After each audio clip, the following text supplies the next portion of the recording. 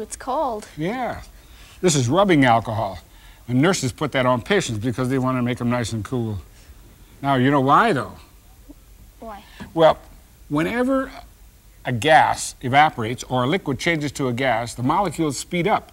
So in order to do that, they have to get the heat energy from someplace. In this case, My hand. yeah, from your hand. In fact, you have a built-in thing that does exactly the same thing. It's called perspiration. Oh. On a hot day, you perspire, and so the hot, the molecules that fly off take heat from your body, and that keeps you cool. I didn't know that. Here, let's uh, try. Uh, over here is the thermometer. See it? And there's a probe. Yeah. Okay, what's the temperature in the room? 19. I can read it from the back here, 19.67, and so forth. Now, put the thermometer. Well, wait, wait, wait. I want you to tell what's going to happen. I think it's it's gonna get colder. Yeah. Where's the, and because where is the energy for the molecules to fly off and evaporate going to come from? From the probe. Right, from the probe. Okay, try it. Okay. 19, 18, 17, Mhm. 16. 15. Yeah, it's going yeah, down. it's really definitely going down, right? Here, I'm going to get the, the top of the uh, rubbing alcohol and put it off to the side. Um, the same sort of thing, hap- what happened, by the way, when you tested? It went up. Yeah, it's going up a little bit. No, it's still going down. 13, f- now it's going. Ru- Hold it real tight, and you can make it go up real fast. Neat. Yeah. It's a very sensitive thermometer.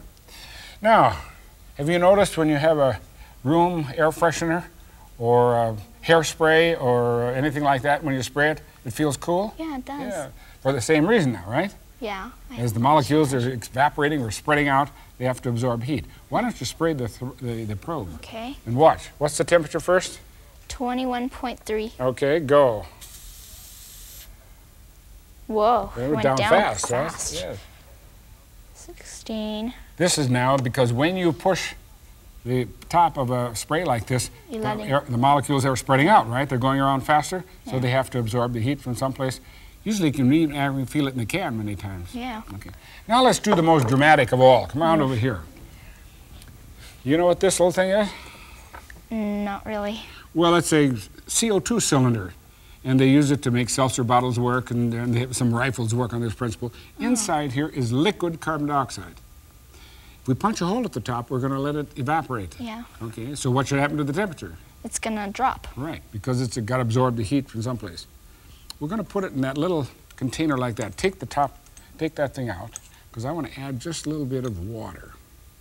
Why would I want to put water in there? Go ahead, now put it back. To prove that the uh, to prove that the temperature is dropping. How are you going to tell that from the water? It might freeze. Yes, it freezes. If we really drop the temperature enough, we can freeze the water. So what we're going to do is put this down. There's a nail. See, there's a nail here? Yeah. Okay. To put the nail right on top of the thing like that. But before we push down on it, it could be dangerous. It might fly around, so put on the safety glasses. Okay. Are you ready? Yep. Okay. Push down.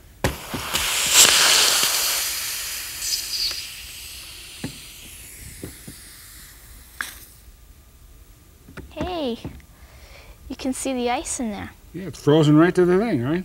Yeah. Don't you think that's the sort of dramatic example Neat. of how when gas molecules expand, they pick up the heat from their surroundings. In this case, the CO2 cylinder coated with ice. Wow.